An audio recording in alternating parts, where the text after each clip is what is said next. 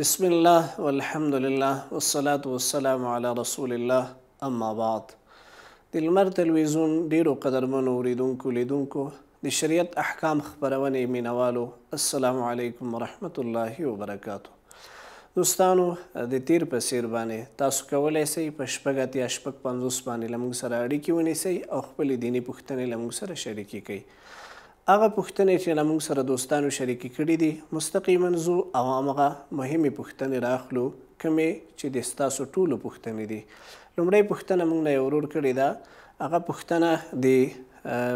زوی د واده په باره کې ده چې ایا یو زوی حق لري په خپل پلار باندې خپل واده ور واچوي؟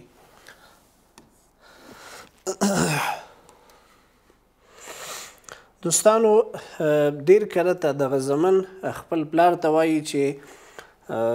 ما ته دی واده نه دی کړی زما خو په تا باندې حق دی چې ته باید ما ته واده وکړي نو آیا د واده مصارف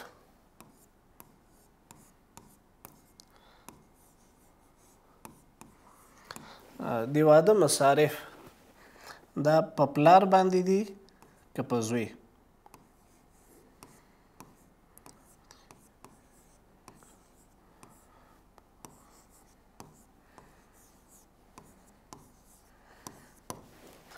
د واده مصارف چې دي دا په پلار باندې دي او که په زوی باندې دي دا هغه پوښتنه ده چې شاید ډیر کره ته داسی زمنو به خپل پلار ته ویلی خپل زوی ته به ویلی چی ماته واده وکه ځکه تا باندی د ما حق دی چی ماته باید واده وکی نو شریعت ددی په باره کی څه وایی دوستانو په مشکات شریف کی حدیث راځی رسول الله صلی الله علیه وسلم فرمایی چې کم یو پلار یا کم یو مور والدین هغه چې وس لري او خپل اولاد ته واده کولی شي او دی واده ونه کړي او دغه اولاد په کومې ګناه کې مبتلا شو نو دغه مور او پلار به هم په دې ګناه کې ورسره شریک وي. ورسره نورو احادیثو ته چې موږ وګورو د نورو احادیثو نه دا موږ ته معلومیږي چې دی یو زوی کله بالغ سي نو د ده چې دی کوم مصرف دی د ده کومه ذمه واري ده هغه د پلار نه پورته کیږي یا د نابالغ اولاد چې کوم مصارف دي د هغې که تعلیمي لحاظ سره وي که چیرته عبادتی لحاظ سره وی په نورو دا ټول په پلار او په مور باندې دي لیکن چې کله یو زوی بالغ شو او هغه بلوغ ته ورسید اوس د پلار ذمہ واری چې دا غخلاص ده خپل دغه الک چې د کم زوی دی د عاقل دی بالغ دی مکلف دی نو دا باید خپل مصارف په خپل باندې تنظیف کی او خپل مصالح په خپله باندې وګالي. کوم زوی چې کله بالغ سو او پلار یې وس او توان د هغه د واده نه لري، نو دغه زوی پلار ته نه سي ویلای چې ما ته حتماً اوس ته به واده کوې او له هر جای نه چې کوې پیسې پیدا که ما ته واده وکړه، ځکه ته اوس بلوغ ته رسېدلی، د تا خپلې ذمه واریانې په خپله غاړه باندې دي او واده هم ستا خپله ذمه واري ده، نو دغه واده به ته په خپل مصرف باندې خپل ته ترسره کوې. راځو دې ته چې که چېرته یوه جلۍ وي نو د جلۍ تر څو پورې چې واده کېږي چونکې د دې ذمه واریانې په پلار پورې اړه لري نو دغه ذمه واریانې به په پلار باندې وي او د دې جلۍ تر واده پورې چې کوم مسئولیت دی هغه د پلار په غاړه باندې دی نو دې وجې نه نبي علیه الصلاة والسلام فرمایي چې کله تاسو ته یو د واده د خاصکارۍ لپاره ستاسو اولاد ته څوک راغلل نو تاسو خپل اولاد او هغه کس ووینئ چې دین لحاظ نه د اخلاقو لحاظ نه ښه واوسیږي فورا واده باندې یې ورکړئ نو که ستا لور پیغله سوې وي او تاته څوک نکاح ته د دغې خاصکارۍ ته راځي نو فورا ورکول پکار دي او دغه جې پورې د پلار ذمه واري ده بیا د هغې نه وروسته د هغې ذمه واري په میړه پورې اړتیا لري د زوی ذمه واري د واده دا په پلار باندې نسته که چیرته پلار پیسه دار وي استحساناً شریعت ده ته حکم کوي چې د خپل زوی د خپل اولاد دغه واده ترسره کړه استحساناً په معنی باندې چې تاسو شاید پوه سئ فتاوی دارالعلوم دیوبند احسن الفتاوی او نورو معتبرو فتاوو دا لیکلي دي چې که چیرته پلار پیسه دار وي او زوی هم د پلار په کاروبار کې د پلار سره چې دی همیش لګیا وي خپل مسولیت ادا کوي نو په دغه صورت کي بيا پلار ته په کار دي چي استحساناً خپل زوی ته هغه واده وکړي ځکه دا دده اولاد دی د هغه ښه والی هم پلار پوري نسبت کيږي د هغه بدوالی هم پلار ته نسبت کيږي خدای نه خاسته که زوی نه دده اولاد نه کومه ګناه تر سره کيږي خدای چي پلار ورسره پکي شريک نه سي نو نو دغه صورت کي چي پلار پيسه دار وي بيا د خپل زوی غم خوړل په کار دي او هغه ته واده کول په کار دي اما که چيرته زوی پيسې لري یا زوی خپله کاروبار کوي خپله وظیفه لري نو بیا دغه ذمه واري هم په پلار باندې نشته ده او د خپل واده ذمه واري دا باید په خپله تر سره کړي راځو دوستانو یوه بله مهمه پوښتنه ده هغې ته ورځو او راخلو تر څو هغه دوستان چې کومې مهمې پوښتنې لري هغه له موږ سره شریکې کړي دي د هغې جوابونه وکړو بله مهمه پوښتنه هغه د حکومت له خوا نه د نرخنامو تعین کول آیا په شریعت کې جواز لري که نه دوستانو تاسو بیا هم کولای شئ له موږ سره په اته پنځوس په شپږ پنځوس شپږ اتیا شپږ پنځوس باندې له موږ سره اړیکې ونیسئ او خپلې دیني پوښتنې له موږ سره شریکې کړئ د حکومت لخوا د نرخنامو تعین کول د حکومت لخوا د نرخنامې تعین کول دا روا دي که ناروا دي په دې باندې به بحث کوو چې آیا حکومت کولای شي چې هغه دغه چې کومې نرخنامې دي د بازار لپاره دا تعین کړي که نه بازار به آزاد پرېږدي او هر سړی به خپله په خپله خوښه باندې چې هر په هر قیمت باندې وي شیان خرڅ کړي نو دغه حکومت دا اختیار لري که نه لري راځو دې ته دوستانو چې هغه اشیا چې هغه اولیه اشیا اوسېږي او خلک هغې ته اړتیا لري نو هغه دغه نرخنامه باید حکومت تعیین کړي لکه مثال په تور باندې اوړه شول بوره شوله چای سو غوښه سوله او همدارنګه مالګه شوله د د ورځې چې کم شیان مونږ تاسو په خپل کور کې استفاده کوو حتی تر پیاز رومي کچالو د دغه شیانو چونکی روزمره استفاده کیږي خلک دې ته اړتیا لري نو دغه د دغه شیانو بازار به چې د آزاد نه پریدي ولې که چېرته حکومت دغه ازاد بازار پرېږدي، په دې کې خلکو ته نقص رسېږي، بیا خلکو باندې په قیمته باندې اشیا خرڅول کېږي او بعضې وخت کې حتی دغه چې کوم تجاران دي، دوی هم سوء استفاده کوي د دغه ازاد بازار نه او دې سره خلکو ته نقص رسېږي، نو د حکومت باقاعده مسوولیت جوړېږي چې د دغه شیانو لپاره د خلکو یعنې چې د کوم تجاران دي د هغې ګټه په نظر کې نیولو سره د هغې لپاره باید نرخنامې وټاکي. او راځو هغه اشیا چې هغه اولیه اشیا نه دي هغه کې باید بازار آزاد پریښودل شي تر څو خلک وکولای شي په خپله ګټه باندې شیان خرڅ کړي په هغه کې بیا په هغه حکومت باندې لازم نه ده لکه مثال په تور باندې کالي شول اوس د کالي خرڅولو لپاره ضرورت نشته د چې هغې لپاره نرخ تعین شي دوستانو زو یو لنډې دمې ته بیرته راګرځو له موږ سره اوسئ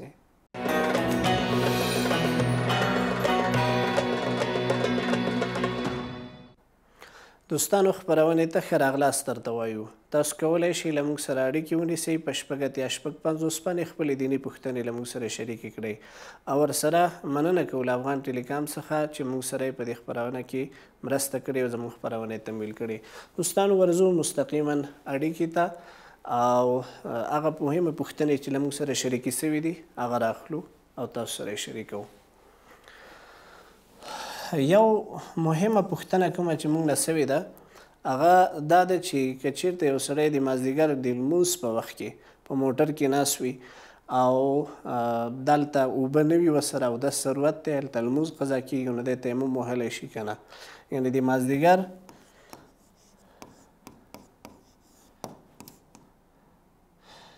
د مازدیګر لمونځ کې په وخت کې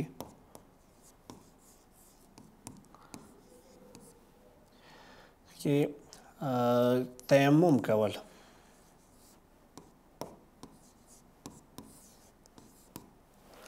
د مازدیګر د لمونځ په وخت کې تیمم کول کله چې تا سره اوبه نه وي نو ته کولی شي تیمم وکړي البته که په موټر کې اوسېږي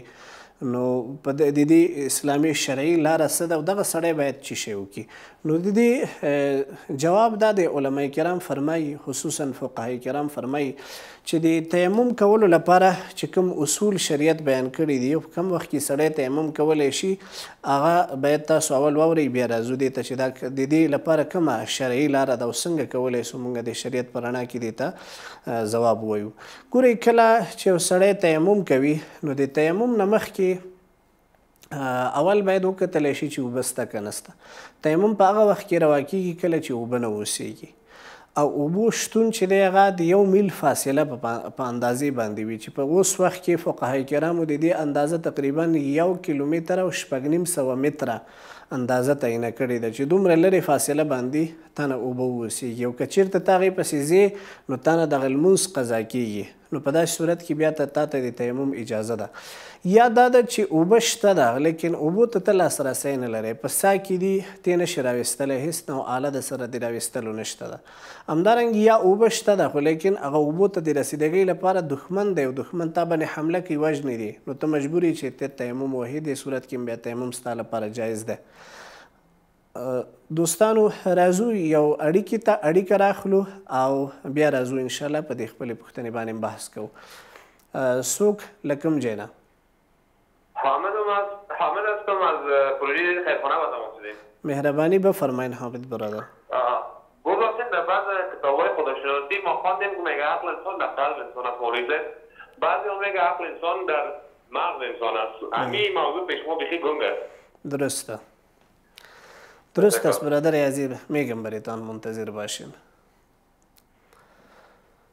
دوستانو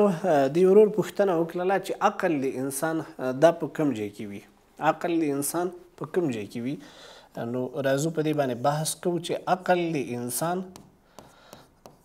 دا عقل د انسان په کوم ځای کې وي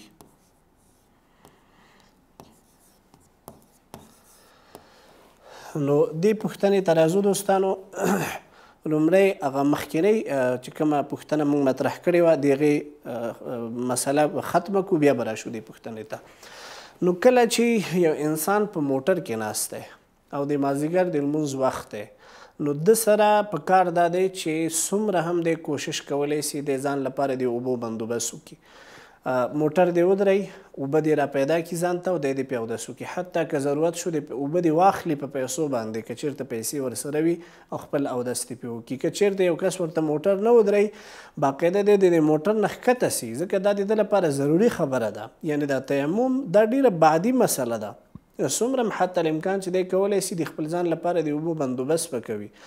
یا چې دی دا خپل مونځ د تاخیر ته واچوي تر څو پورې کولی شي تر اخري وخته پورې دی خپل ځان لپاره د اوبو بندوبست وکړي اوبه ځان ته پیدا کړي نو دی د اوبو کوشش وکړي او بیا که چېرته تر اخري ثانیې پورې دی په اوبو پیدا کولو باندې ونه توانېده بله لار نه وه لمونځ قضا کېده نو په داسې صورت کې بیا شریعت اجازه ورکړې ده چې دی تیمم وکړي او خپل لمونځ قضایي نه وساتي البته دغه کار به خپل ځان لپاره یو سړی چې دی همیش لپاره نه کوي که چیرته همر وزا دی په یو مسیر باندې رفت و آمد لري او په موټر کې ناست او هر ورځ دته دا مشکل له مخې ته راځي نو دی باید مخکې له مخکې نه دی خپل اودس غمه وخوري خپل ځان سره اوبه په موټر کې وساتي یا مخکې له مخکې نه باید دی خپل اودس وساتي دا په ژوند کې یو حادثاتي تور باندې که چیرته داسې حادثه راځي په داسې صورت کې دته د تیمم کولو اجازه ده او که چیرته یو سړی ښه پلان کې لري چې په دغه مسیر باندې ځم ماته اوبو مشکلات پیښیږي باید مخکې له مخکې نه خپل ځان ته امادګي ونیسي راځو دوستانو دغه بلې پوښتنې ته کوم چې موږ سره د ورور مطرح کړله چې عقل د انسان دا په کوم ځای کې وي مونږ چې د شریعت په رڼا کې چې کوم دلایل د دې په باره کې راځي عقل د انسان چې دی دا وسیع تر قلب او تر دماغو پورې دی یعنې عقل د انسان تعلق هم د قلب سره لري هم د دماغو سره لري په پوندو کې د انسان عقل نه وي لکه څنګه چې عام خلک یادوي که نه عقل یې په پوندو کې دی دا عموما د هغه کس لپاره ویل کېږي چې څوک ساده واوسېږي عقل تنا دماغو پورې هم تعلق نه لري عقل د انسان ترا پر قلب پورې هم نه دواړه مشترک کله چې یو مسله ذهن ته راځي زه چې کله په سترګو باندې یو شی وینم دغه سترګې دغه مسله واخلي خپل زړه ته یې واچوي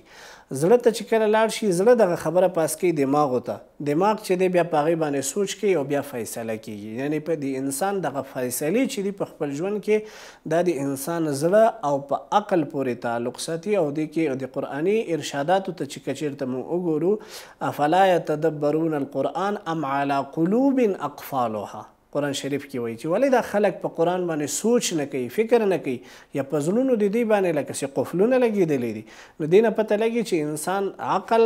دغه سوچ چې کوي خو د دې تعلق له قلب سره هم سره سره هم دی او ورسره دغه ده چې کله عقل په د قلب سره تعلق ساتي نو په دې باندې سوچ دې سره دماغ هم وصل کېږي ځکه فيصلې انسان له دماغو نه کوي بيا عقل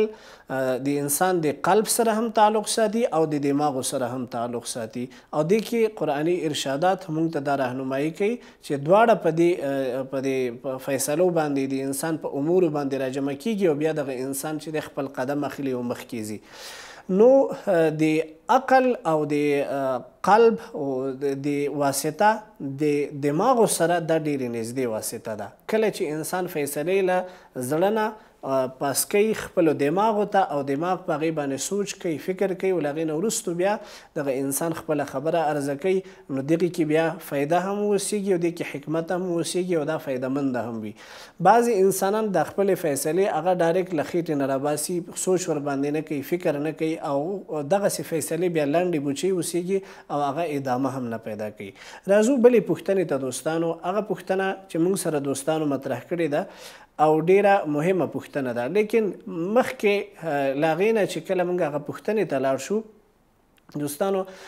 زو یو لنډې دمې ته دمې نه مخکې بیا هم یادواري کوو چې تاسو کولی سئ له موږ سره اړیکې ونیسئ خپلې دیني پوښتنې په شپږ اتیا شپږ پنځوس باندې له موږ سره شریکې کړئ هغه پوښتنې کومې چې تاسو غواړئ د هغې ځوابونه تر لاسه کړئ موږ به کوشش کوو ان شاءالله چې د هغې ځوابونه تاسو ته د شریعت په رڼا کې درکړو نو ځو یو لنډې دمې ته بیرته راګرځو له موږ سره اوسیږئ.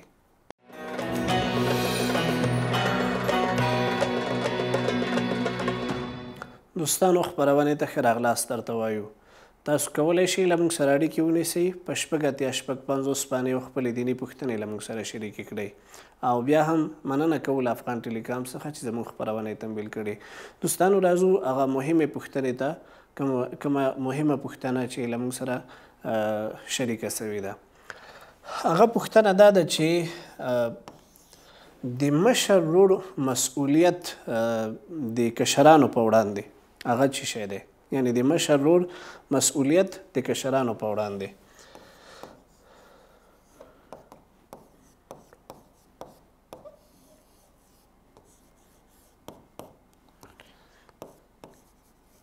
د مشر رور مسئولیت د کشرانو پر وړاندې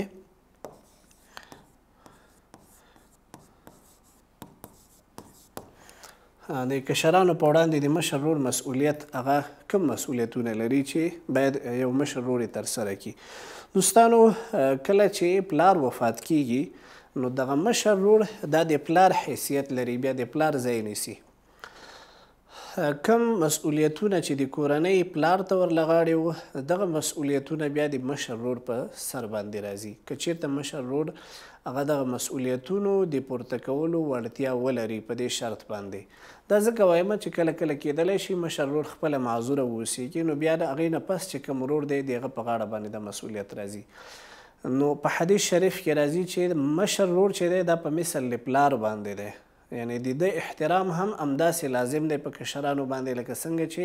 د پلار احترام یو سړی کوي. هغه ورونه، هغه خویندې چې هغه نابالغه واوسېږي د دوی د دوی چې دی ټوله تربیه، د دوی علاج، معالجه او د دې چې د اخلاقي تربیت او د دې تعلیمي برخه دا ټوله د مشر ورور ته راجع کېږي. یعنې که کشرانې خویندې دي او که کشران ورونه دي، اوس د دې مشر ورور ذمه واري ده چې که چېرته د دې د مرستیا مشکل راځي، مشر ورور باید رسیدګي وکړي او د دې د مرستیا مشکل حل کړي. همدارنګه که چیرته د کشرانو د تعلیم مسله ده د دې تعلیمي اخراجات او د هغې مصارف په غاړه باندې اخیشتل دا د مشر ورور مسؤلیت دی او په دې کې هیڅ نوع دا خپل احسان په دې ورونو او په دې خویندو اچولای نه سي د مشر په حیث باندې د خپلو کشرانو دغه تعلیمي برخه کې د دې مصارف پورته کول او د دې غم خوړل دا په مشر ورور باندې لازم دي. ورسره د دې چې دی دغه د روزمره د ژوند چې کوم مشکلات دي دې ته رسیدګي کول دا هم د مشر ورور مسؤلیت دی چې باید متوجه اوسیږي تر څو دغه د ده چې دا کشران ده ته پاتې شوي دي دا په مشکل کې ګرفتار نه شي قرآن عظیم الشان هم د دې یادواري کوي وابتلو الیتامی حتی اذا بلغو النکاح همدارنګه راځي په بل ځای کې چې که چېرته تاسو ته په میراث کې ماشومان پاتې کېږي نو تاسو د دې ماشومانو صحیح سرپرستي هغه به تاسو کوئ. ګورئ که چېرته دغه ورونه او دغه خویندې بلوغ نه وروسته بیا راځي نو د بلوغت نه وروسته چې کله دغه ورونه ایسته مکلف سول د کاروبار او عقل یې پوره شو اوس بیا دغه مسولیت له مشر ورور نه پورته کېږي خو د خویندو مسولیت بیا هم د مشر ورور په غاړه باندې دی یعنې د دوی د واده بندوبست کول او دی دی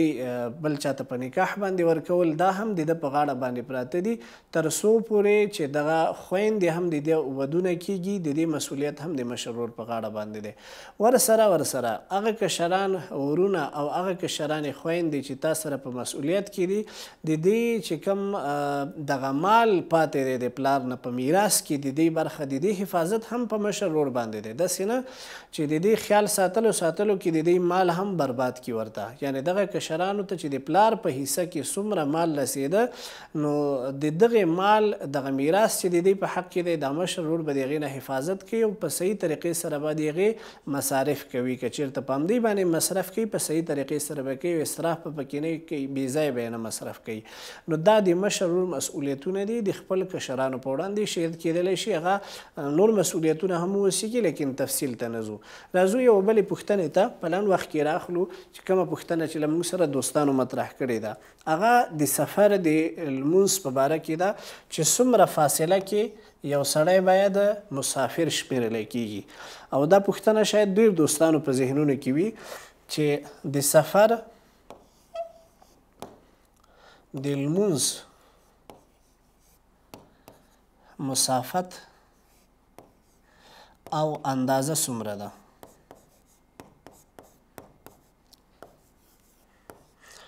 د سفر د لمونځ مسافت او اندازه څومره ده یعنی په څومره اندازه په څومره مسافت کې یو سړی مسافر شمیرل کیږي په شریعت کې شرعي لګهانه جمهور فقها زموږ د احناف فقها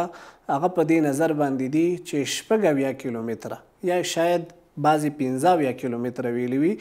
دومره فاصله یا بعضو فقهاو دری اویا کیلومتره هم ویلی ده دری اویا کیلومتره شپږ اویا یا پنځه اویا کیلومتره یعنی د دری اویا کیلومتره نه ایده دی سفر که دومره فاصله کې دی تصمیم لري نو دی مسافر شمیرلی کیږي اوس به دی دغه خپل مونز دی قصر کوي قصر المونز به دی له کوم ځای نه شروع کوي یعنی دی چې کله اراده لري چې دی لاړ شي تورخم ته یا دی اراده لري چې لاړ شي پېښور ته یا داسې اراده لري قندهار ته لاړ شي اوس دغه واقعا چې وګورئ دا خو د درې اویا کیلومتره نه زیاته فاصله ده نو دی چې د خپل کلي له مضافاتو نه اوړي یا د خپل ښار چې کوم مضافات دي له دې نه اوړي بس دی مسافر شو اما تر څو پورې د خپل ښار په مضافاتو کې وي دی به پوره لمونځ کوي. لکه مثال په طور باندې مونږ په کابل کې یو د کابل د پل چرخي نه اخوا د ښار حدود خلاصیدو کې سي نو اخوا ته دی خپل قصر لمونځ کولای شي یعنې خپل فرض لمونځ به هغه دوه رکعته کوي د څلور رکعتي او همدارنګه که چیرته د د شمالي خوا ته واخلې همدارنګ یې چې کله دی کوتل نه وځي دی د ښار د مسافاتو نه وځي که داسې واخلې بل خوا ته جنوبي خوا ته نو دی چې د ارغندي نه اخوا وړي نو دی مسافر د ده سفر شروع کېږي نو خپل څلور رکعتي لمونځ به بیا هغه دوه رکعته کوي نو دوستانو زمونږ خپرونه اختتام ته رسېږي زمونږ دوستان کولای شي مونږ سره په دې خپرونه کې اړیکې ونیسي تر بلې خپرونې پورې په الله سپارو الله مو مل شه